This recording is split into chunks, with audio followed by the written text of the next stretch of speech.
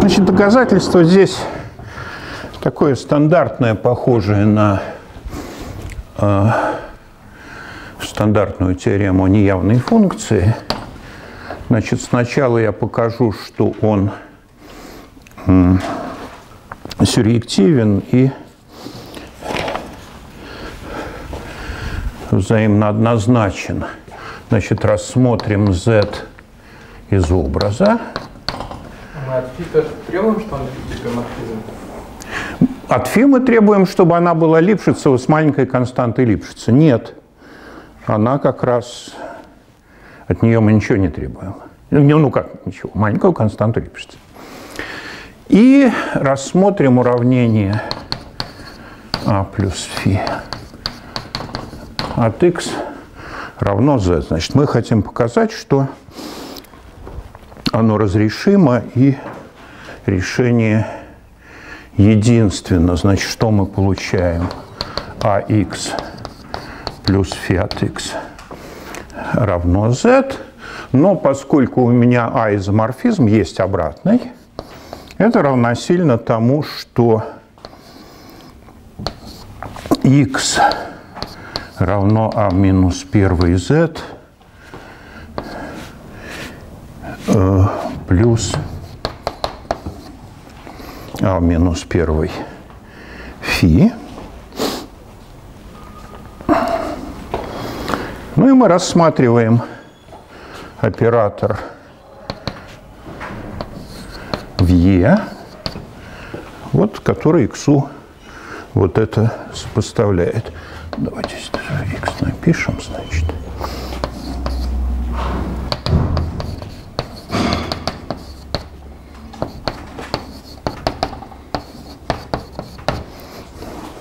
Ну и понятно, что мы делаем. Мы показываем, что этот оператор сжатия. А, значит, я беру две точки x и x штрих.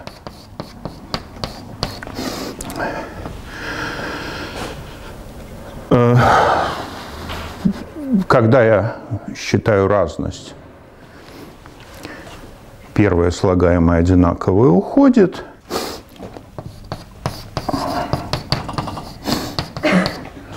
Фи от x минус фи от x штрих. Что? Почему там плюс и минус? Почему? Почему вот, когда мы выразили x, у нас там а минус первый z плюс, а не минус? Минус. Значит, да, конечно, надо перенести. Минус.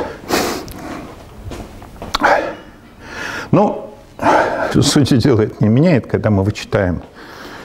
Это уходит, значит, это меньше либо равно чего? Ну, нормы а в минус первой на Лифшицеву константу фи на x минус x штрих. Но норма а в минус первой – это в точности единица делительная мата. Значит, вот это вот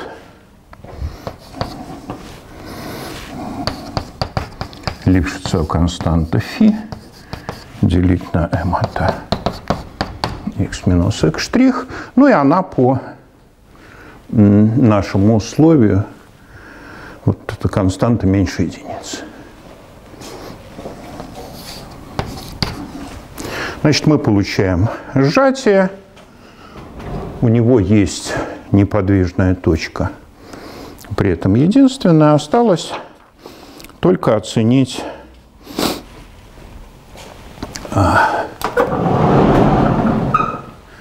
осталось только оценить вот эту норму обратного, да? Где у нас компактный? Где у нас что? Е. Нет, Е банахового пространства. У нас два банаховых пространства. Банахово пространство по определению полно.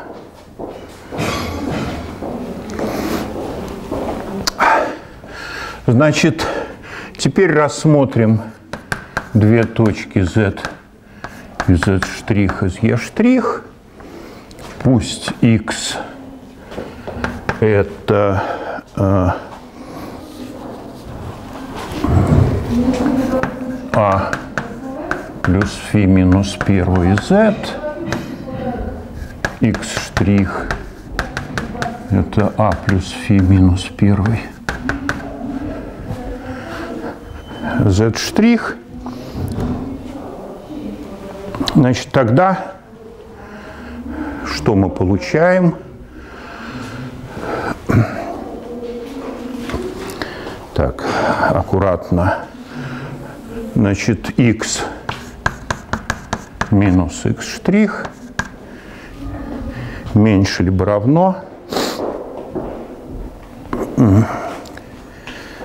Так. А, нет, я поторопился. Я поторопился. Значит, норма а плюс фи x минус x штрих больше либо равна нормы а на x минус x штрих минус норма фи x минус фи x штрих. Это больше либо равно. Значит, вот это вот больше либо равно m от a.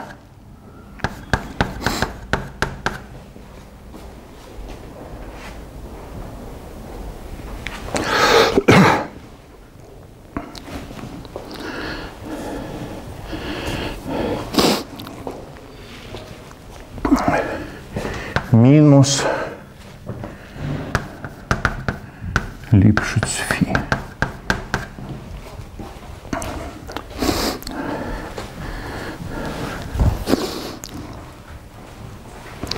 Теперь я беру в качестве x а плюс фи минус 1 от z, а в качестве x штрих, значит, вот это тогда будет норма z минус z штрих.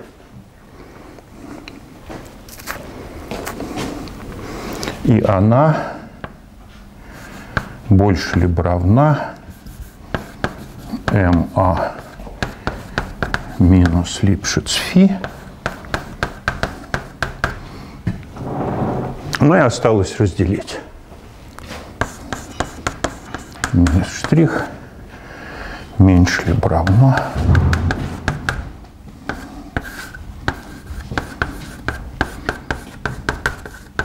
минус Липшицева константа фи. Ну, что и было обещано. Потому что x и x' это как раз образы z и z'. штрих. Вот. Я эту теоремку оставлю, потому что мы к ней будем много раз обращаться. Теперь э, тоже такое полезное э, утверждение, оно стандартное совершенно. Но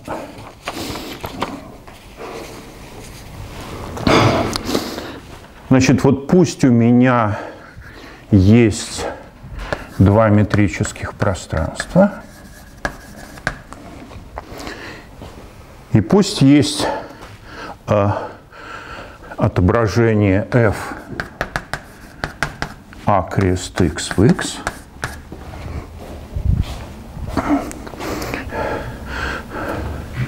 Значит, и константа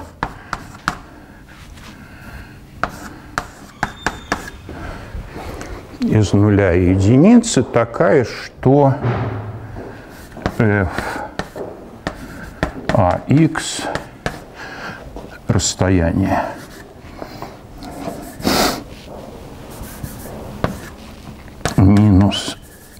расстояние f. А y меньше либо равно рас... лямбда на расстоянии xy.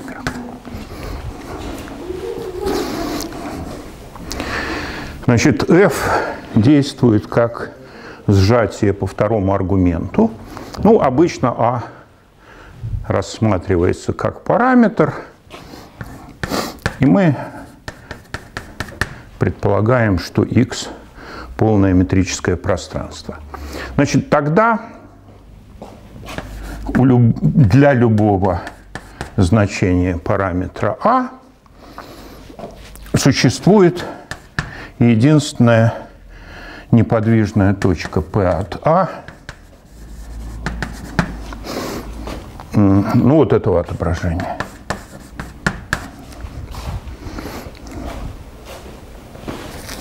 Значит, А я зафиксировал, осталось отображение x в себя, которое сжимает, а x полное. Значит, там есть единственная неподвижная точка. Так вот, утверждается, что если... А от зависит? Что-что? Что константа от А не зависит? Да, вот константа не зависящая, а равномерное сжатие. Значит, э, стандартная картинка вот какая у вас есть вот это пространство параметров, значит, есть вот эти копии пространства x, и в каждом есть своя, вот если это точка А, своя неподвижная точка P. Значит, утверждается, что если f непрерывно, то P от А непрерывно, если f Липшицева, то P от А Липшица. Ну, на самом деле мы увидим, что э, требовать нужно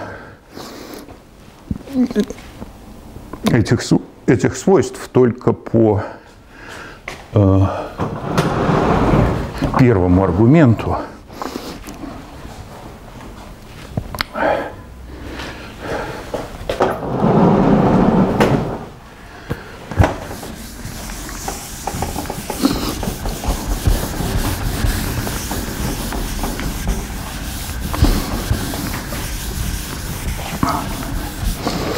Значит, давайте посчитаем расстояние.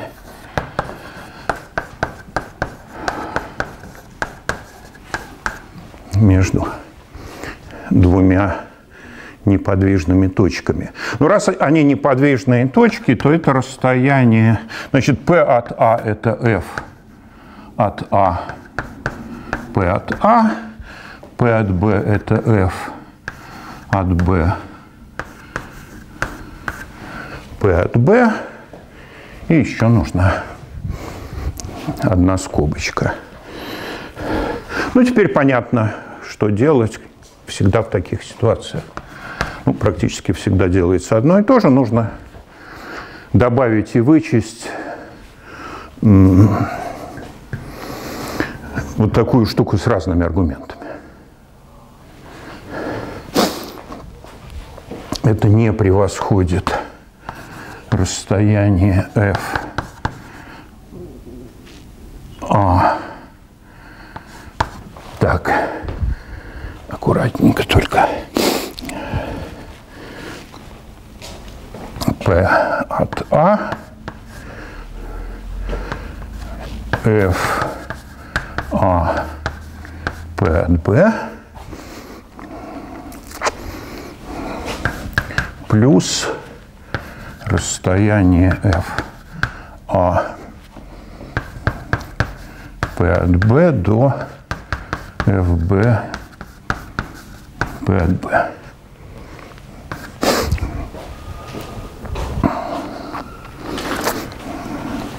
Теперь, что у меня было? У меня, если первый аргумент один и тот же, то э, вот это оценивается лямбдой на, значит, вот это вот. Не превосходит лямбда на расстоянии p от P от B. Я переношу это налево, делю на единицу минус лямбда и получаю, что расстояние P от А P от B не превосходит вот этого расстояния.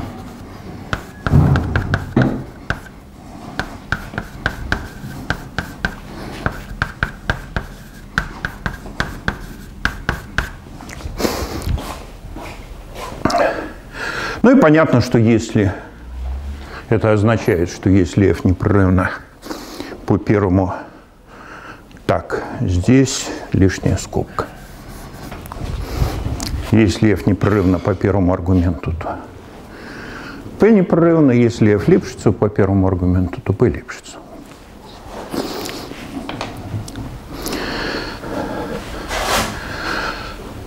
Вот теперь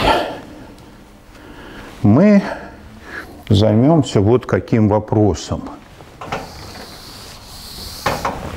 Значит, у меня есть гиперболический линейный автоморфизм.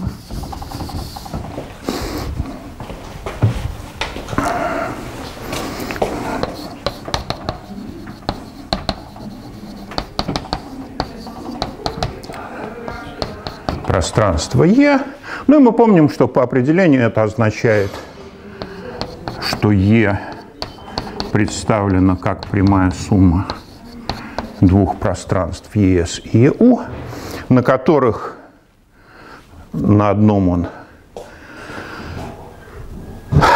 экспоненциально сжимает, на другом экспоненциально растягивает, и мы э, нашли норму, в которой э, есть число тау от нуля до единицы такая, что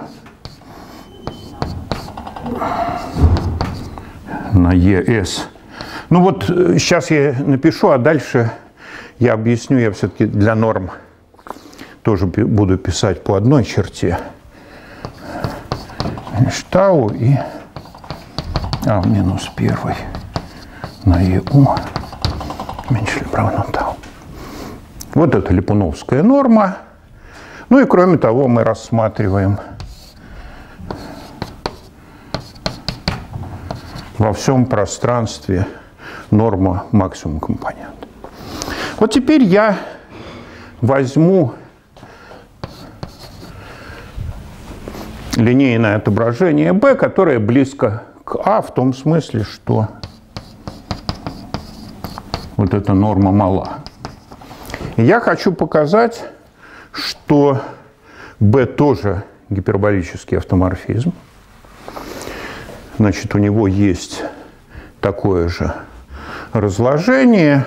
Более того, это разложение непрерывно зависит от B.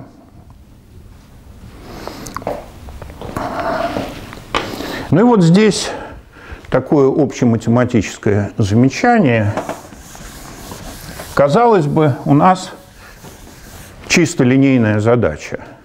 А линейный оператор, Б линейный оператор. Но мы сейчас увидим, что внутри эта задача нелинейная. То есть, чтобы построить вот это разложение для, ну, такое же разложение для B, нам придется решать некую нелинейную задачу.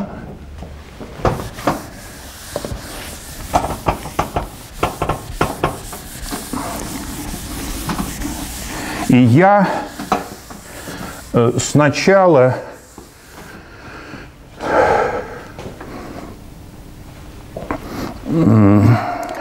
построю один из, одно из вот этих подпространств –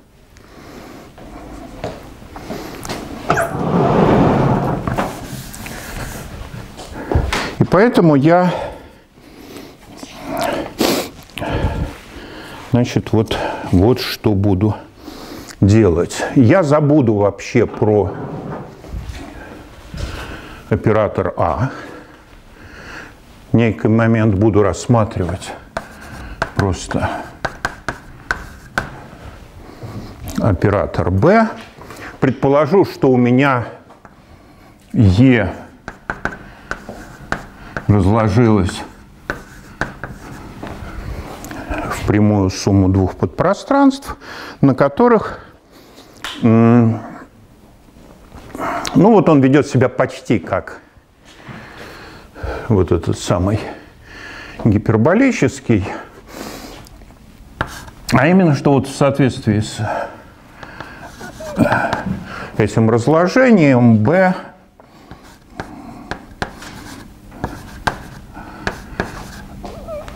представляет, давайте B1,1, B1,2, B2,1, B2,2.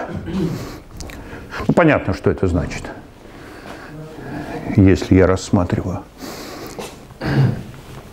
покомпонентно, то умножаются, э, и у меня существуют теорема. Существуют Давайте же я в своих обозначениях лямбда от нуля до единицы и эпсилон больше нуля, такое что? Значит, вот это равномерное растяжение, это равномерное сжатие, норма B1,1 минус 1, норма B2,2 не превосходит лямбда. Вне диагональные элементы маленькие.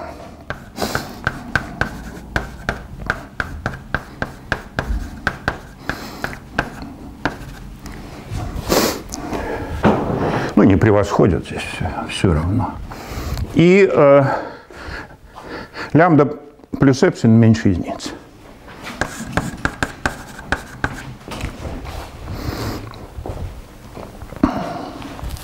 Значит, тогда, вот здесь точное утверждение, существует линейный изоморфизм P из E1 в E2, норма P не превосходит единицы, и существует и линейное подпространство –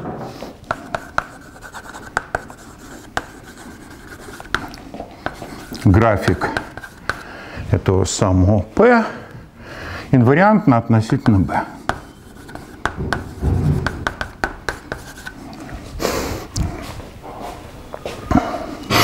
Более того, на нем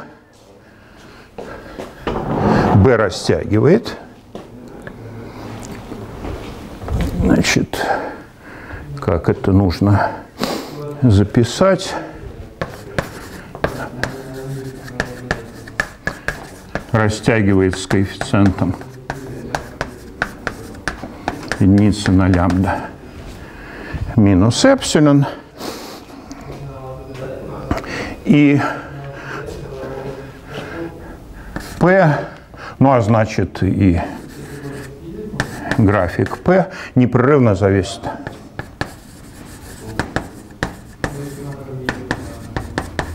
от B. Значит, грубо говоря, мы строим для возмущенного оператора одно подпространство неустойчивое. Ну, второе построится также, надо будет применять b в минус первый.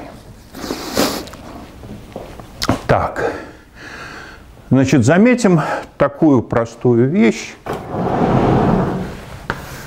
что если лямбда плюс эпсилон меньше единицы, то единица на лямбда минус эпсилон больше единицы.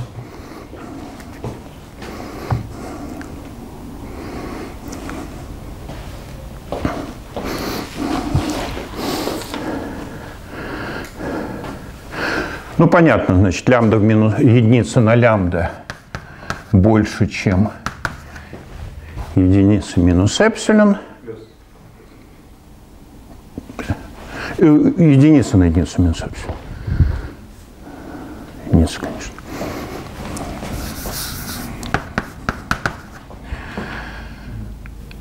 Значит, единицы на лямбда минус на эпсилон больше единицы. Ну, э, поскольку лямбда меньше единицы, то и вот это больше единицы.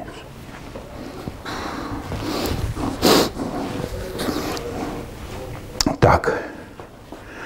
Вот теперь пойдет первый такой не очень пойдет первое не очень тривиальное рассуждение.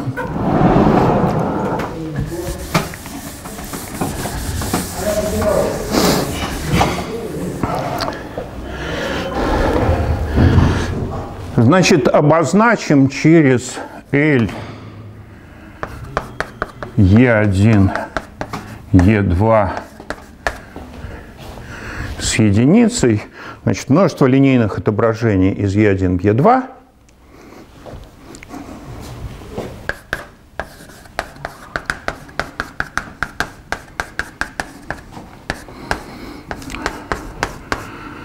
– нормой, не превосходящей единицы. Так, да, надо было сказать, что я начинаю доказательства. Вот теперь давайте поймем, как сформулировать условия инвариантности графика P относительно B. Значит, что происходит? Вот у меня есть Е1, Е2. Мы берем В отсюда.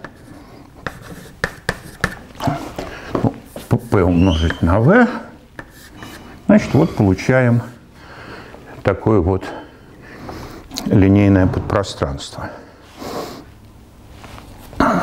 Значит, если я возьму вот эту точку и применю к ней b, то что получится? Получится вот что. b1,1 v плюс b1,2 pv, правильно? b2,1 v плюс b2,2 pv.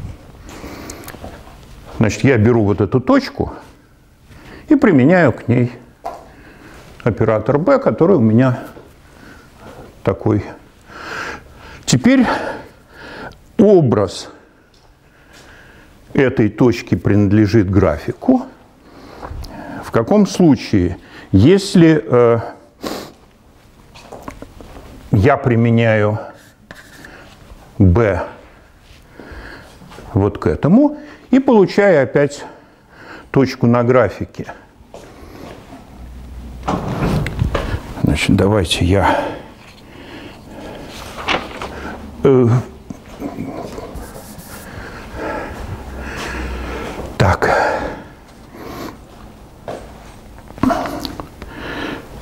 Значит, B переводит график P в себя.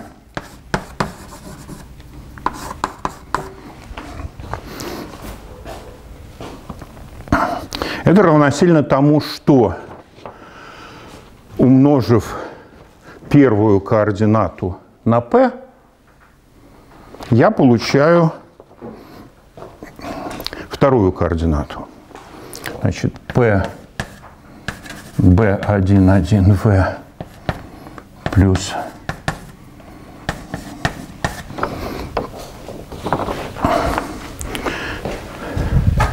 равно B21 В плюс B22.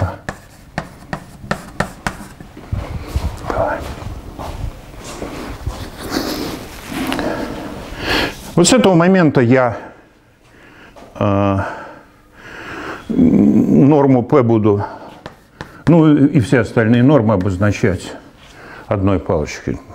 Палочек не наберешься. Значит, заметим прежде всего, что э,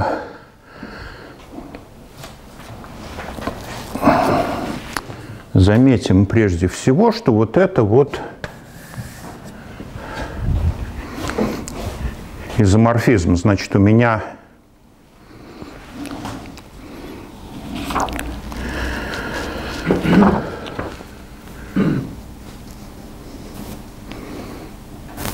я беру в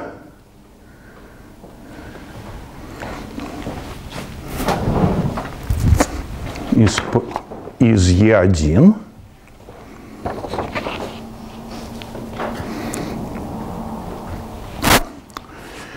э, И вот эта штука переводит меня тоже в Е1. Правильнее, видимо, было писать B2.1. Ну, раз мы уж так перенумеровали. Значит, что я про это отображение знаю? Я знаю, что мини-норма B1.1 не превосходит лямбда. Э, так, где там было? больше либо равно единице на лямбда. B1 минус 1 сжимает, а норма вот этого B1, 2, P не превосходит нормы B1, 2, потому что я беру P вот отсюда, я беру P все время по норме не превосходящей единицы. Давайте это отметим еще раз. А это не превосходит эпсилон.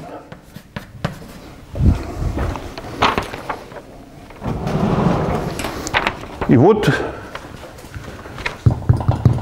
у меня есть вот эта Липшицева теорема неявной функции –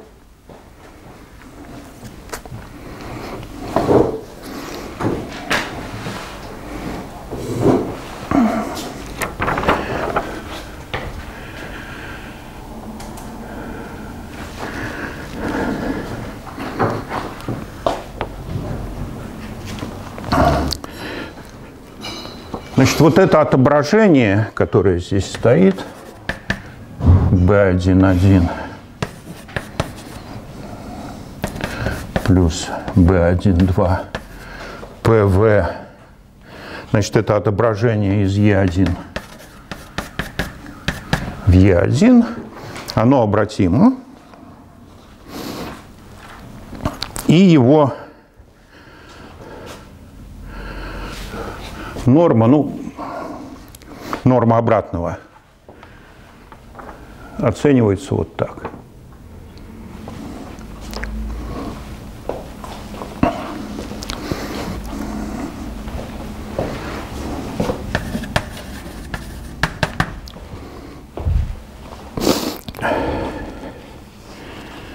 Так, вот здесь аккуратно.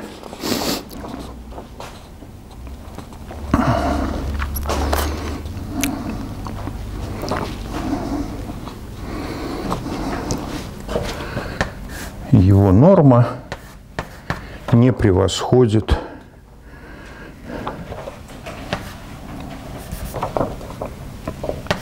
единицы на лямбда минус эпсилон минус первый.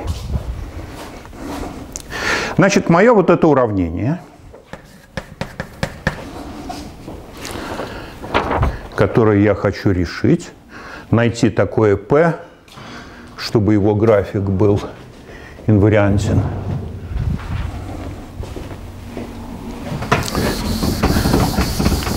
Равносильно вот чему. Я просто применяю справа обратный оператор.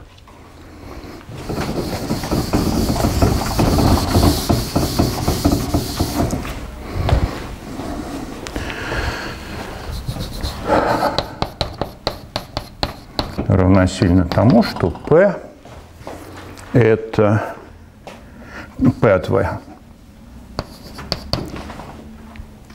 Это B 2,1В плюс b22pv на обратный вот к этому.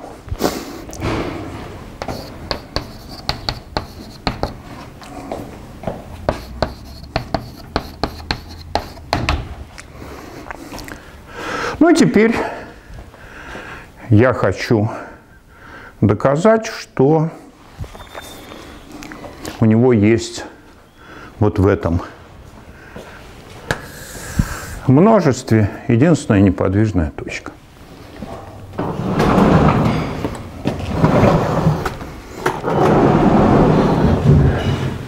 Ну, думаю, что вы не удивитесь, если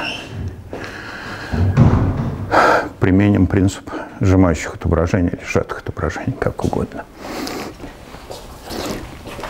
Значит, во-первых, почему... Э, да, значит, я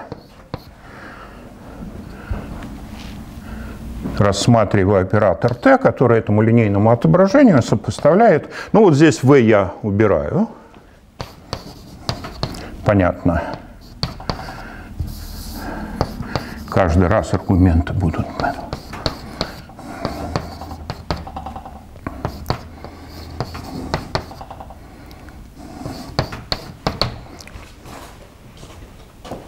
Но мы видим, что оператор не линейный, а дробнолинейный.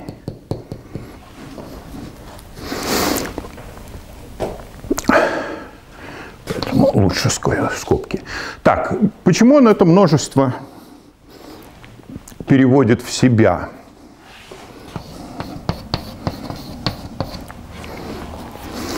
Ну, мы все знаем, кто как оценивается, значит,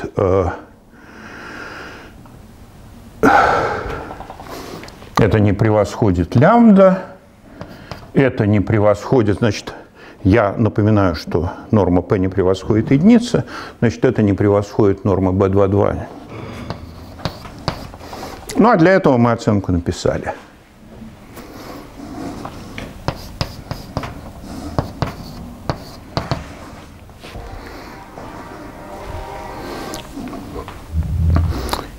И это меньше единицы. Каждый из них меньше единицы. Вот теперь более э, интересное занятие, которое состоит в том, почему он сжимает.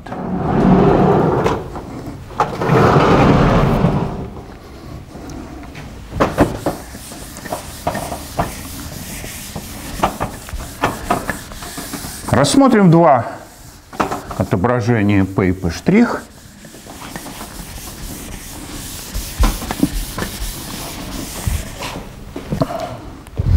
каждая из которых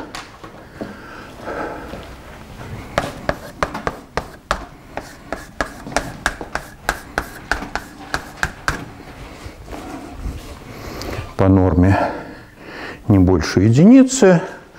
Значит, э, ну, я буду обозначать через t t от p, а через t штрих t от p штрих, чтобы тоже не таскать лишние аргументы. Тогда, значит, t от p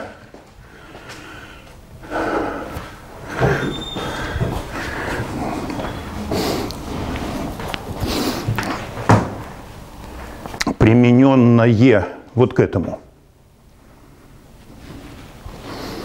B11 плюс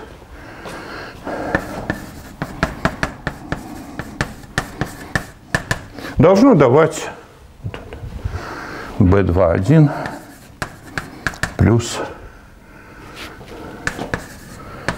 22P. Ну и то же самое, такое же равенство, я все-таки его выпишу от p штрих, p это b21, p штрих. Что я знаю? Я знаю, что вот это b22 это сжатие.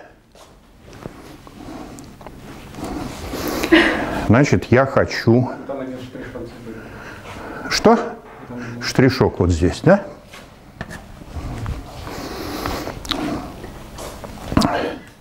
Вот теперь давайте смотреть, что добавить и что вычесть.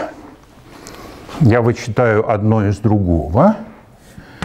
t минус t штрих, вот здесь я уже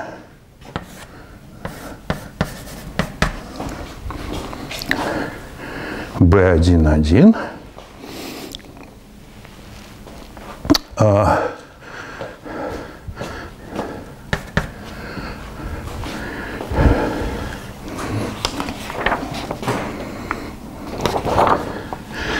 вот лучше раскрыть скобки все-таки.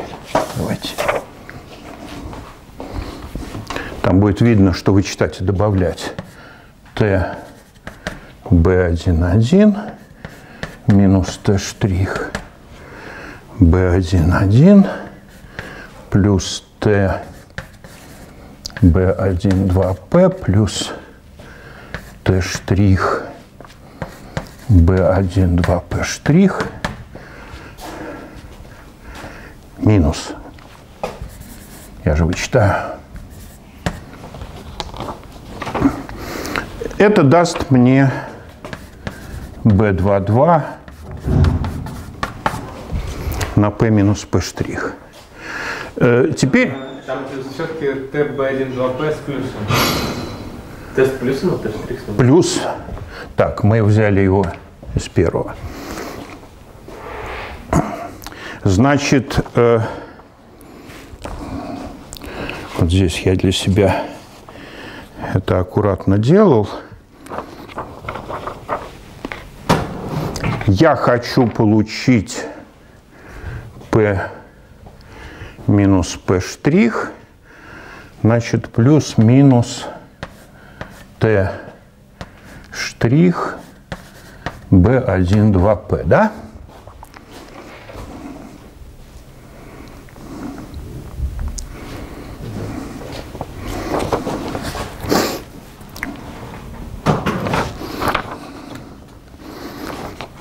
тогда вот из этих, ну и понятно из кого, чтобы здесь получился тоже t минус t штрих. Так, я вас задерживаю, но сейчас я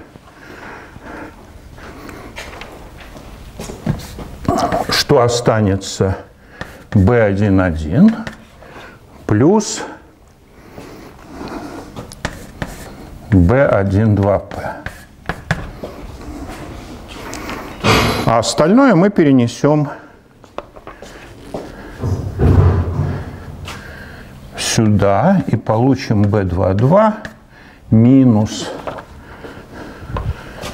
T штрих B1,2 P минус P. Значит, давайте смотреть, кого мы кому добавили. Ну, понятно, вот те слагаемые, у которых здесь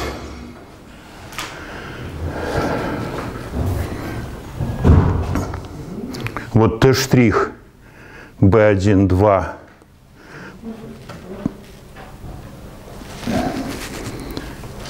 P штрих и и Т' штрих B1,2P.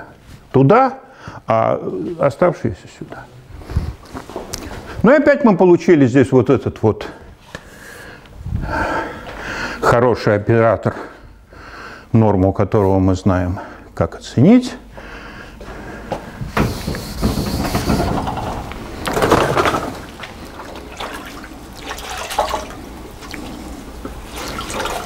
У нас получится такая тройная скобка –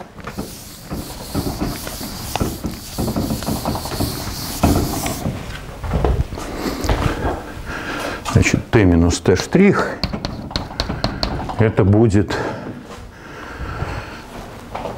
b22 минус t b1, 2, p минус p штрих. И вот я умножаю на обратный к этому. Т штрих. Но это совершенно не важно, потому что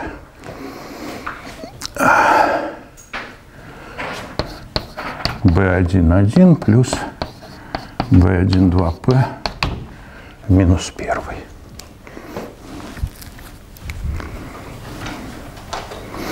Э, Поскольку мы уже показали, что t переводит вот это множество в себя, поэтому вот у обоих норма не превосходит единицы. Это мы уже показали. Значит, поэтому норма t' не превосходит единицы. Здесь на самом деле спрятано t', t от p'. Значит, здесь это не превосходит лямбда минус эпсилон, а это не превосходит единицу на лямбда минус эпсилон. Каждая из них меньше единицы. И мы получили, ну,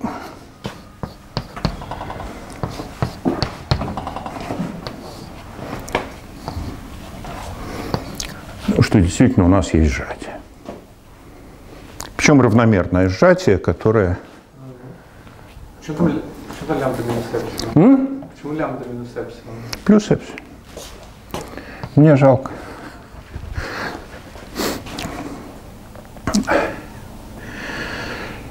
Значит, оно имеет неподвижную точку, единственную. А, почему оно инвариантно? Мы смотрели на условие, что B переводит график P в себя.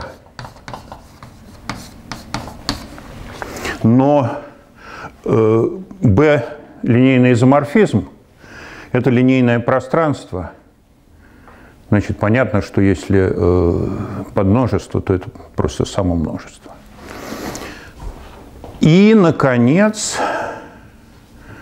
э, непрерывная зависимость от b вот следует из той теоремки про непрерывную зависимость, потому что у нас равномерное сжатие при любом b с одними и теми же константами. Так, э, на самом деле я еще чуть не договорил. Э, я обещал показать, что э, на этом подпространстве b растягивает там соответствующей константой – ну, давайте смотреть, значит, если у меня вот есть эти самые пространства E1, E2, и есть э, вот это линейное подпространство, график линейного отображения P, норма которого меньше либо равна единице – но на самом деле она строго меньше единицы, а, потому что ну, вот у нас там получалась оценка, если мы p брали меньше либо равным единице, то норма образа получалась строго меньше. Вот, ну, неважно. Значит, э, тогда для любого вектора в нем его норма – это норма первой компоненты. У нас норма – это максимум. Значит, э,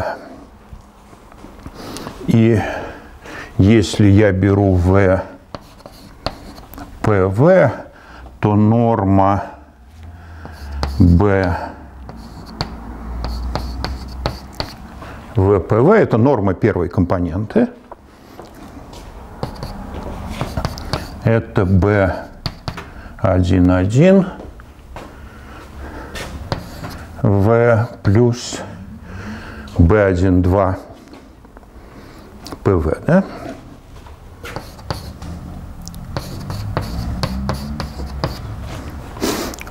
Но это больше либо равно единице на лямбда минус эпсилон на v. Опять-таки, норма p не превосходит единицы, норма b. М? В. Э, норма v, да. Значит, действительно, оно на нем растягивает.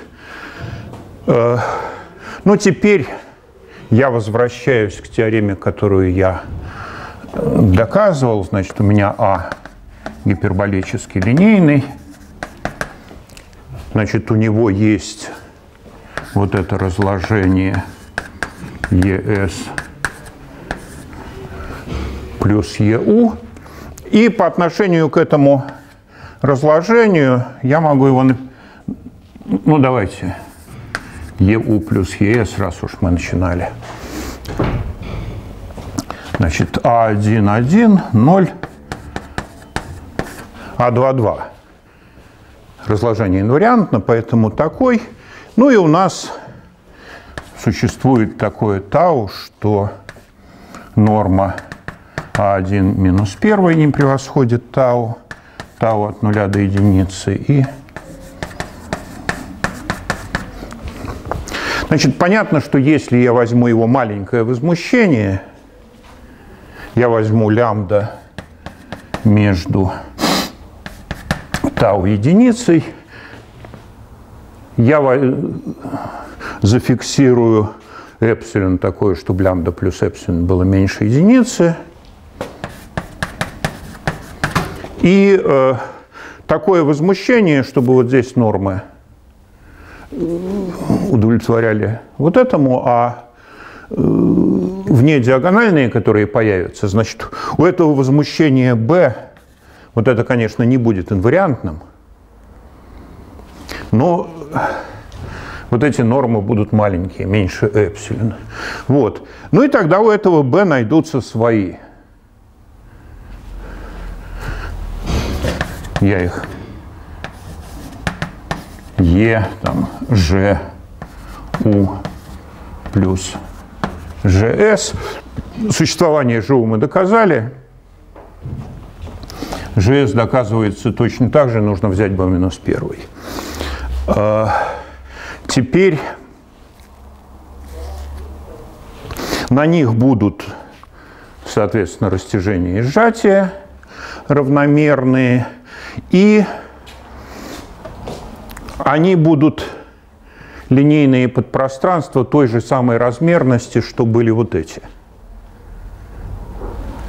А пересекаются они очевидным образом по нулю. На одном сжатии, на другом растяжении. Значит, мы получили два линейных подпространства дополнительной размерности, которые пересекаются по нулю, значит, они дают прямую сумму. Ну и теперь самое главное для нас следствие вот какое. Значит, мы работали пока что с линейными. Э, с возмущениями линейных отображений. Вот теперь я рассматриваю дифеоморфизм. Значит, я рассматриваю дифеоморфизм, пусть P у него гиперболическое неподвижная точка, это значит, что оператор А df от P гиперболический. У него есть разложение E, ES, прямая сумма EU. У него есть, мы показали, что если я буду рассматривать дифеоморфизмы G, C1 близкие к F, то у них есть, я уж не буду это все переписывать, значит, у них есть соответствующие неподвижные точки PG, которые непрерывно зависят от G, и которые гиперболические, если... Ну, тогда понятно, что дифференциал G в точке PG близок к этому. Ну и все, значит, он тоже гиперболический. Значит, мы получаем, что если есть гиперболическая неподвижная точка, у нее есть окрестность, в ней вот это непрерывное семейство гиперболических точек. Отлично. Вот теперь мы займемся, наконец, устойчивым, теоремой об устойчивом многообразии. А, так, вот теперь вот это я могу стереть.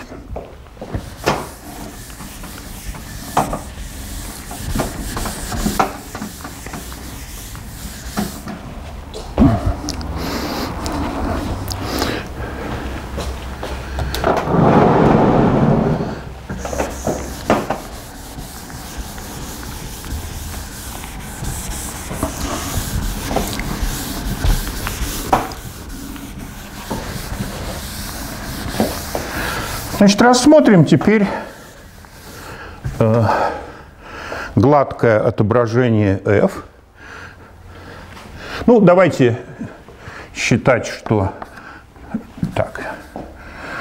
Значит, теорема об устойчивом многообразии. Метод Адамара.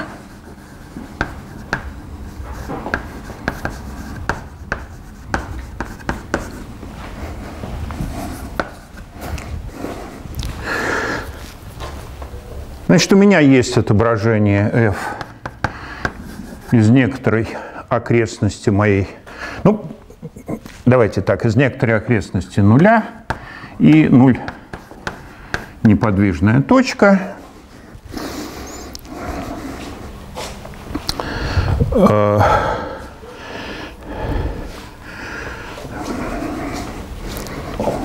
Значит, f класса C1 и 0 гиперболическая. неподвижная точка. Значит, я считаю, что у меня есть некоторое положительное число r, такое, что шар радиуса r с центром в нуле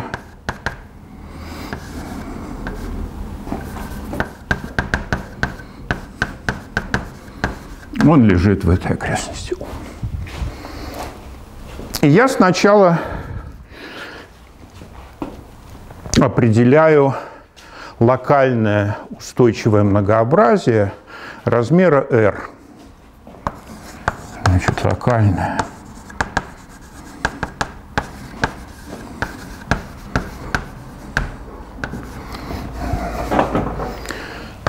W S R от нуля. Это множество иксов из e таких, что f в степени nx не превосходит r для n больших либо равных нуля. Значит, траектории не выходят из этого шарика. И э,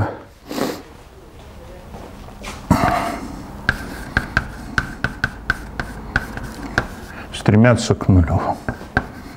Блин, стремящимся пускай.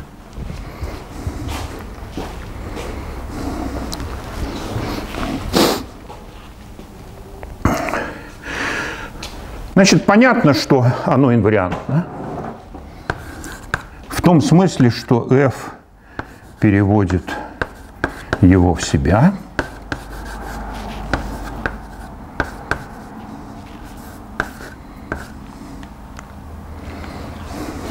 Ну, понятно, если выполнено для n больше. Вот. И э, сейчас мы его хотим характеризовать. Вот я думаю, что мне сейчас не понадобится теорема.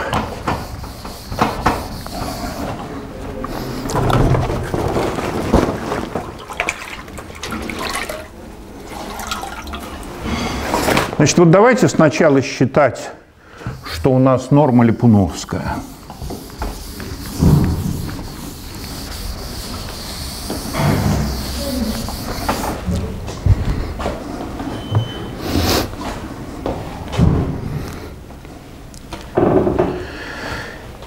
И э,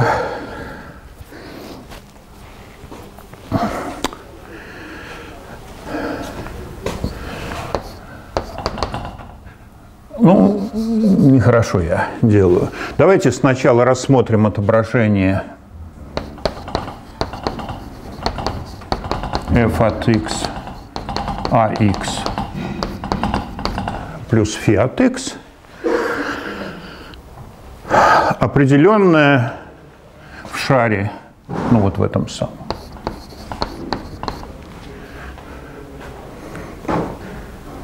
b от r пусть А гиперболическая матрица и вот эта липуновская норма относительно А.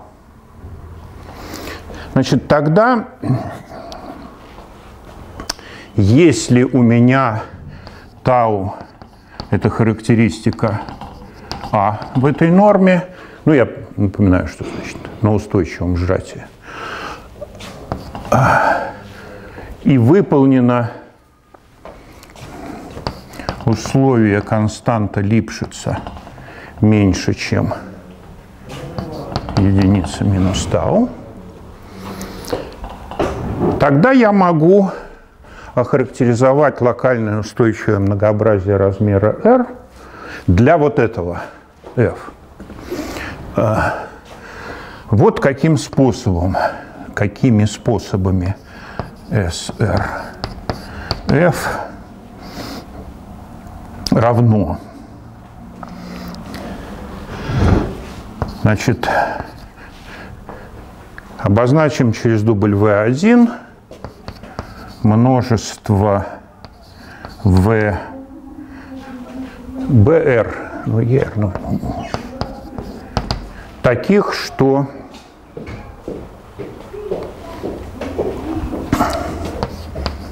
А плюс фи в n меньше либо равно r для всех n больших либо равных нуля.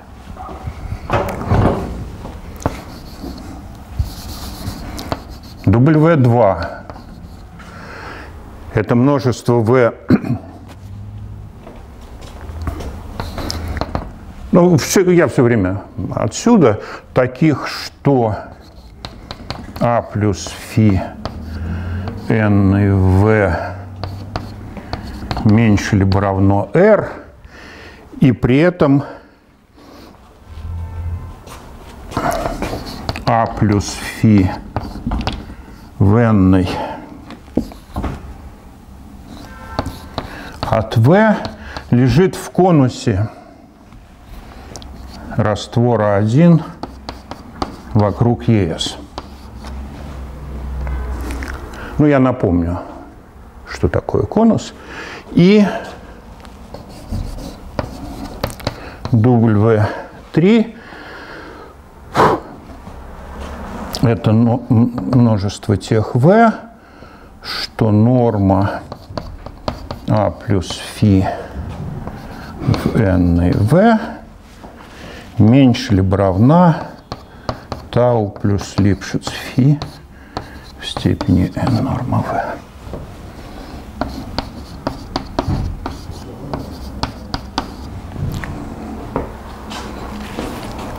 Вот я утверждаю, что все эти множества совпадают. Значит, мы можем характеризовать вот это локальное устойчивое многообразие радиуса r любым из этих способов.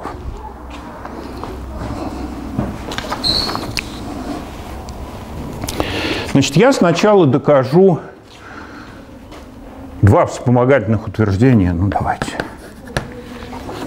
Значит, если v и v'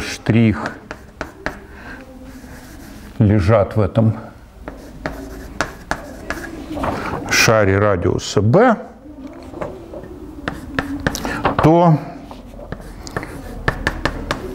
а плюс фи от v st компонента минус а плюс фи v штрих st компонента не превосходит чего, значит, тау плюс липшиц фи на норму v минус v штрих.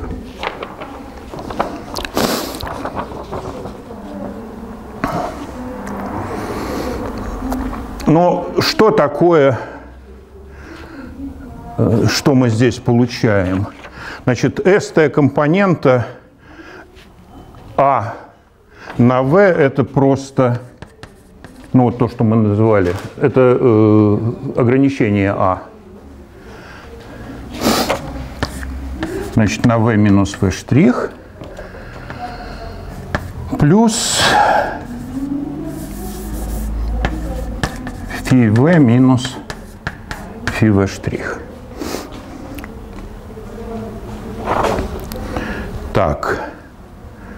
Э, ну вот здесь тоже можно писать ВС. Но вот эта норма не превосходит нормы v минус v штрих, потому что у нас э, норма это максимум. Ну и тогда вот это не превосходит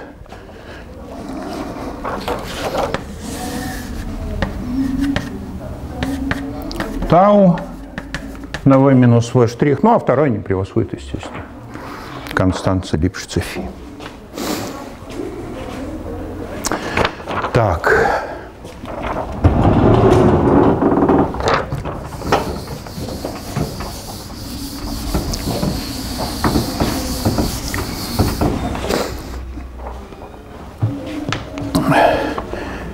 Теперь вторая лемма.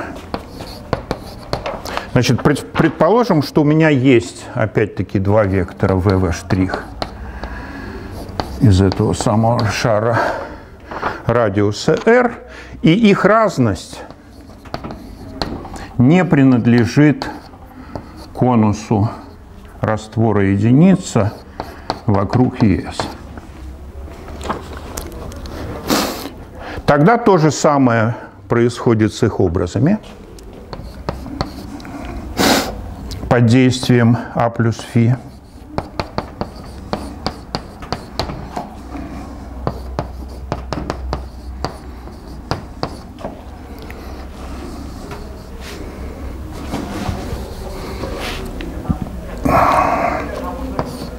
Не принадлежит. А? Конус раствор единица. Это тот, у которого ну, норма устойчивого. Значит, вот у меня есть ЕС, ЕУ, значит, конус раствора 1 вокруг ЕС. Это вот это вот норма ВС больше равна норма ВУ. А не принадлежит, значит, наоборот. Так, и э, норма вот этой разности больше либо равна тау минус первой минус Липшиц фи.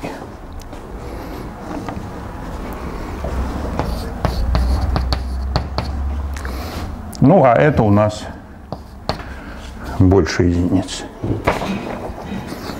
Ну, из-за того, что тау плюс липшиц фи меньше.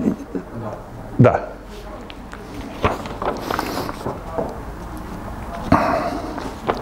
Значит, э, ну, мы смотрим на теперь неустойчивые компоненты этой разницы.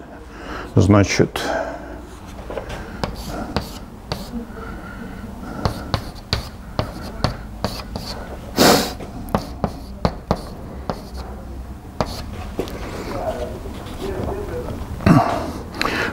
меня получается? У меня получается АУУ на В минус В штрих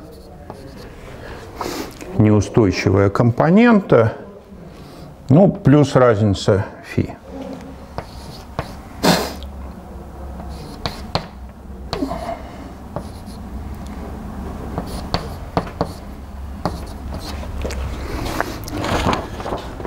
Но Поскольку я предположил, что вот это не лежало в единичном конусе, в конусе раствора единица, значит, норма,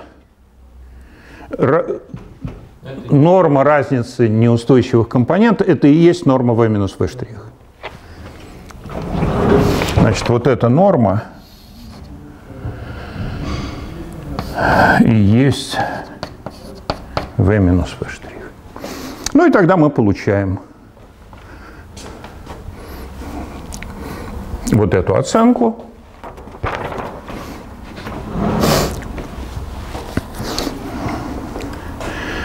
А, мы получаем эту оценку, и значит у нас у образа, ну вот у этих вот, Сейчас запутался немного. да? Значит, э, что я должен показать? Что если у меня разность двух векторов не лежала в конусе раствора единица, то разность их образов тоже не будет, ли- лежа- не будет лежать в конусе раствора единица. И норма его будет оцениваться снизу вот таким. Норма вот этой вот разности. Значит, я выписываю разность утых компонент, неустойчивых компонент. Здесь я получаю вектор v минус v штрих утую компоненту. Но его, поскольку я не, эта разность не лежит в конусе, то вот эта вот норма этой утой компоненты и есть норма v минус v штрих. Да, хорошо. Ну, у нас норма. Ну да, может сумма как разность. Ну, а здесь Липшиц на.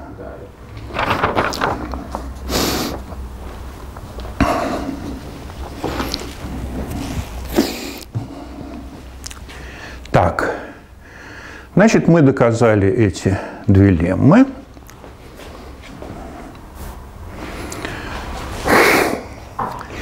Ну, я сотру доказательства последней,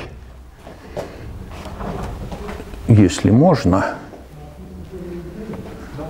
Ну, все равно, от кого из них избавляться.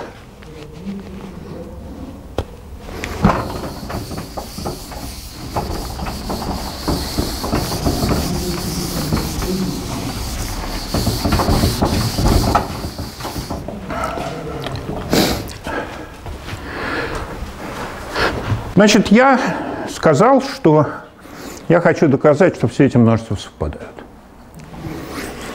Ну, давайте, пусть вот это будет просто дубль.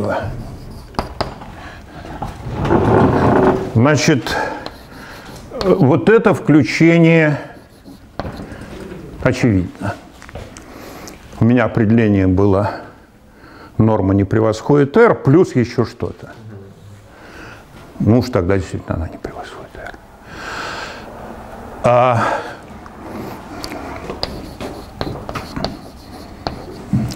W1 в W2. Первое – это то же самое, первое условие. Теперь, если я предположу, что при каком-то m, предположим, что не так, это означает, что существует такое m, что вектор W А плюс φ в степени m v не лежит в конусе раствора.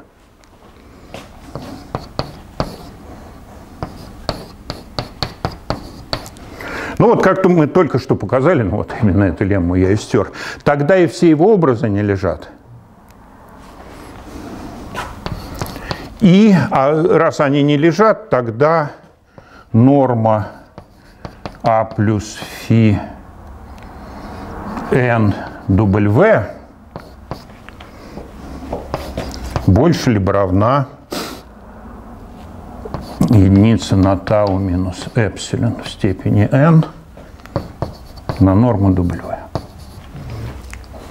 И это стремится к бесконечности.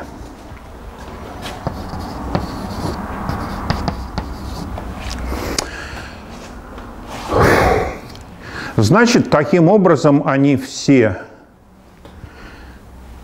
лежат в этом самом конусе. А когда они лежат в конусе, я могу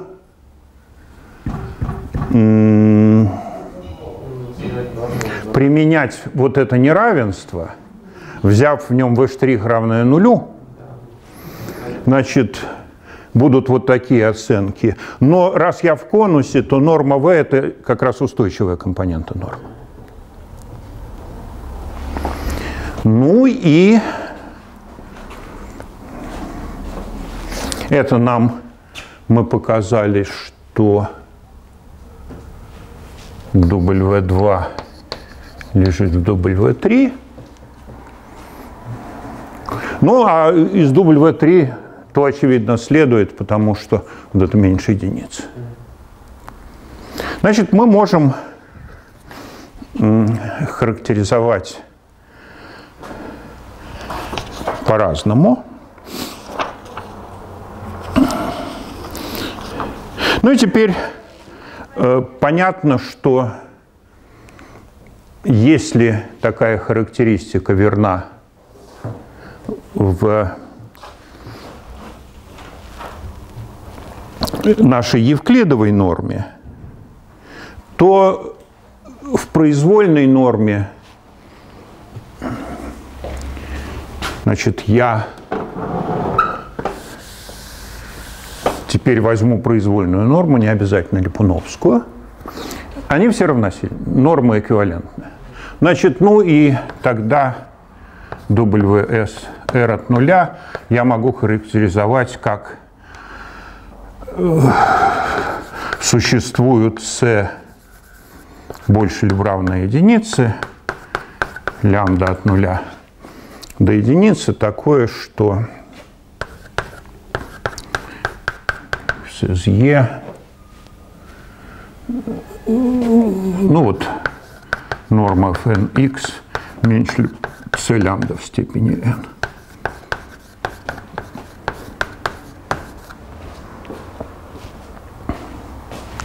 Значит, у меня была вот такая оценка. Э, за счет перехода к другим нормам ну, появятся какие-то константы, которые вылезут в этот.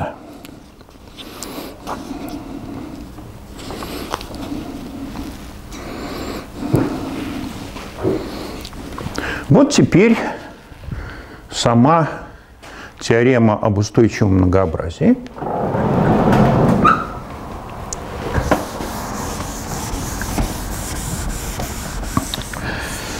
Ну и здесь я сделаю вот что. Я сначала от локального дифеоморфизма в окрестности точки перейду к глобальному отображению во всем пространстве. Но это мы такую вещь сделали, когда мы в общем курсе доказывали теорему Гробмана-Хартмана. Мы распространяли нелинейность с малой константой Лившица на все пространство.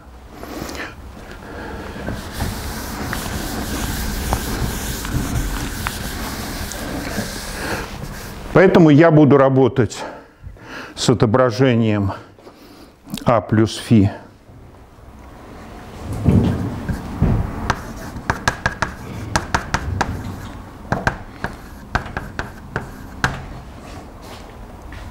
Во всем пространстве, где А гиперболическое линейное отображение, φ имеет, ну φ в нуле нуль имеет малую константу Липшица, и э, тогда в качестве вот то, с чем я буду работать, это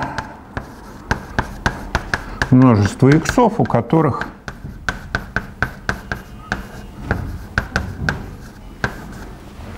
f в степени n стремится к нулю.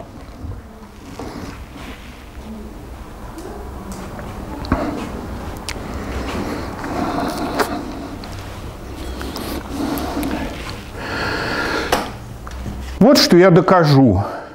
Значит, сначала я докажу существование Липшицева устойчивого многообразия. Гладкость здесь делается совсем по-другому.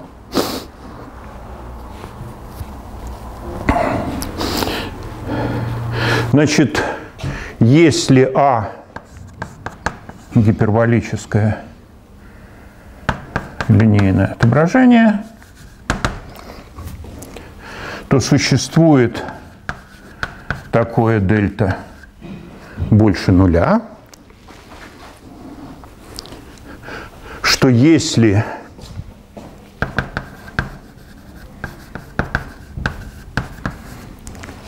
константа φ Липшица меньше дельта, то э, устойчивое многообразие – это просто график функции –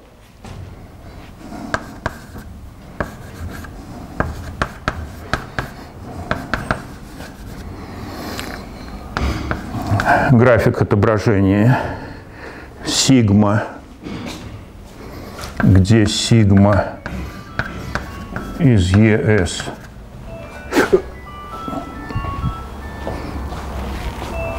из ЕУ в ЕС, конечно.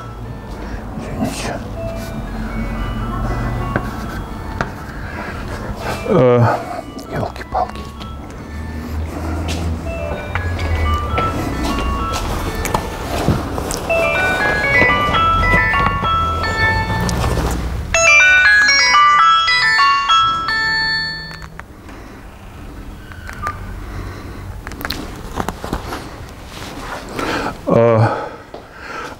которого, который Липшицева и константа которого не превосходит единицу.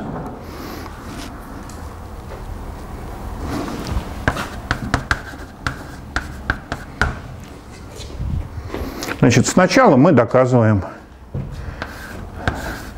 значит, вот у меня Е, С. Так, сейчас, секундочку. А, извините. Э, мы доказываем, точно так же определяется неустойчивое. Я смотрю, что-то у меня. fnx стремится к нулю при n стремящих к минус бесконечности. И мы доказываем существование неустойчивого. Все правильно.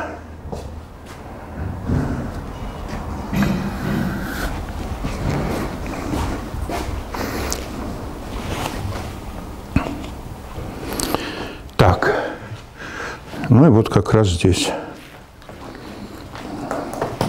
Я думаю, что надо остановиться, потому что...